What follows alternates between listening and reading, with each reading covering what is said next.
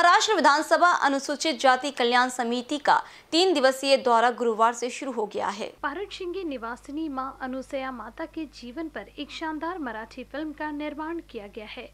इस फ़िल्म में हर कलाकार, डायरेक्टर और निर्माताओं ने अपना विशेष सहयोग दिया है। इस फ़िल्म में माँ अनुसया के जीवन पर ओरिजिनल बातें अलग अलग लोकेशन पर शूट की गई हैं।